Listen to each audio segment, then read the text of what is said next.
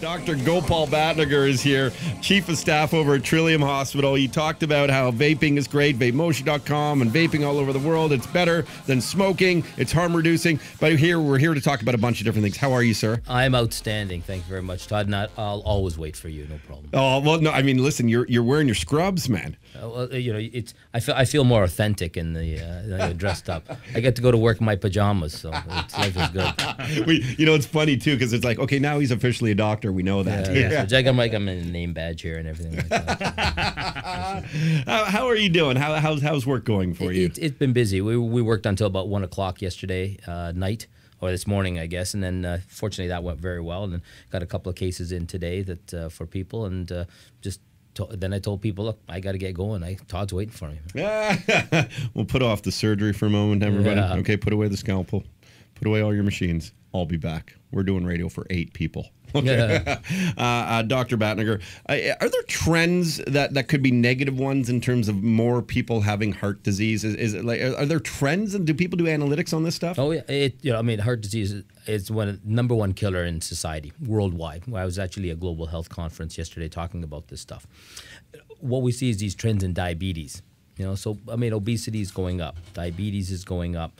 Diabetes is basically this horrible disease that will affect all the blood vessels in your in your body. Everywhere from it's a, one of the leading causes of blindness in the world.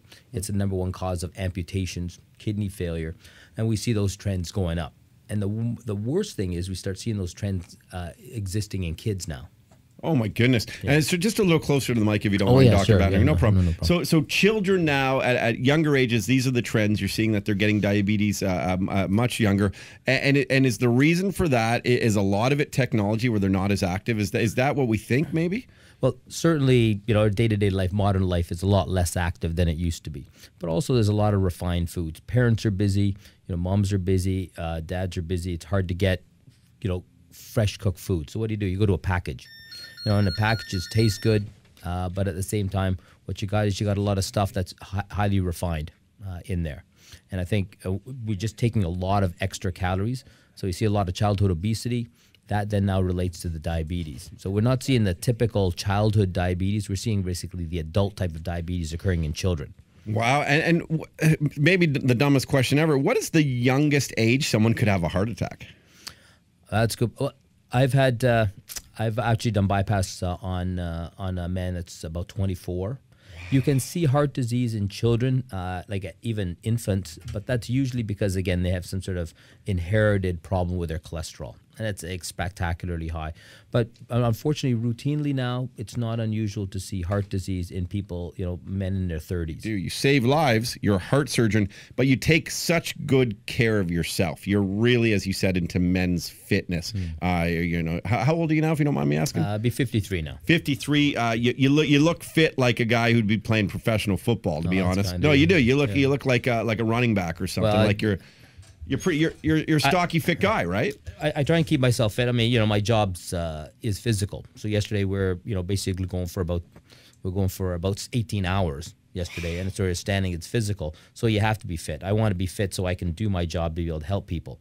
You know, and and I've I've loved to work out. You know, and actually, my my trainer when I was 50, when my trainer Kyle Ardrill, he actually convinced me to do a fitness show. So once a year, I actually do these fit, you know these crazy fitness shows uh, where you've you know you know how it is. You get like I'm not saying that's all that healthy, but it does keep you you know keep you jacked up. So you get all ripped, you oil up, you lather the body, yeah, and then right, you, yeah. and, and, is there a category over 50 that you do it in?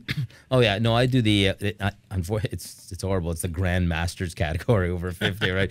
So, but imagine there's some guys in that category that are just, I mean they're just fantastic looking. You know, I mean, this is all natural without the use of steroids or you know uh, hormones and things. But the guys they just get on. You know, you just you're just amazed what people can do even into their 60s and 70s if you're motivated to do it. So what advice then would you have doc for for guys who say, "You know what? I'm working too hard. I don't have time to work out or uh, you know, I'm stressed out and I got kids running around. I don't have time to work out." You've obviously found a balance. You do you just did an 18-hour surgery, yet you'll still compete in competitions. Yeah. Uh, this is your lifestyle. This is who you are. Mm-hmm. So what advice can you give to people for, you know, making sure that we don't lose sight that there is always time in the day to take care of yourself? Well, there always is. I mean, if you're running around behind your kids, that's running around behind your kids. That's activity what people need is they need to set uh, the goals for themselves. You know, do you want to look like you're on the front of you know Men's Fitness magazine or Muscle Mag? That's a whole different you know thing we're talking about. But if you just want to say, look, I want to be able to be around for my kids. I want to be able to you know play sports with them. I want to hang out with the guys. I want to live as long as and healthy as possible. That's actually a lot easier. Ninety percent of that is, but it's diet. You know, if you can get to the gym an hour, three or four times a week, and you really, when you're in the gym, you dedicate yourself to working out. You know, you're not eyeballing the girls, you're not chatting with your friends, you're not texting. you're kind of like you're at it. You know, and then you modify your lifestyle. Think of food as fuel for your body. When do you need fuel? You need fuel before you're kind of going on your journey. Your journey is your day of work. Right? So in the morning, people are always running out. Oh, I'm late. I'm tired. I'm grabbing a cup of coffee. I'm not having anything to eat. You know? But when I'm when they get home, they have this big dinner. We really need to turn that around. Hmm. So you need to make a, sure you have a good breakfast, more protein. It actually helps you stay less hungry during the day. So take your carbs when you need them, when you're going to actually use them. That's in the breakfast and lunch.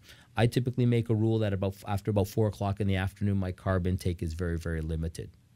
So it's things like that that people you don't have to necessarily eat less less calories, but if you change away change around the way you stack them in the day, that'll make a significant difference. It's like the uh, Benjamin Button of the food diet. Like it just right. goes yeah. in reverse. Yeah, exactly. Hey, I'm Jay Brody. Subscribe to our YouTube channel and leave a comment. We read the best ones on the air.